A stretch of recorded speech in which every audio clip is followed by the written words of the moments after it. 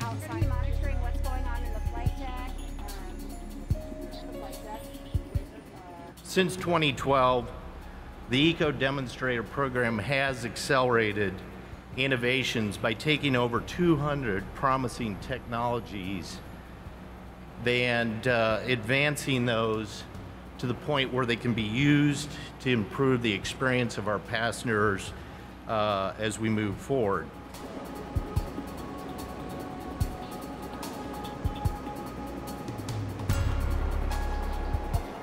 What we really care about, though, is engaging our pilots and all of our crews in making sure that we're being as fuel efficient as possible. Um, and actually, for the first time this year, all employees at our company, from the CEO to the front lines, have in our goals-based, performance-based pay program, we have a goal for carbon efficiency.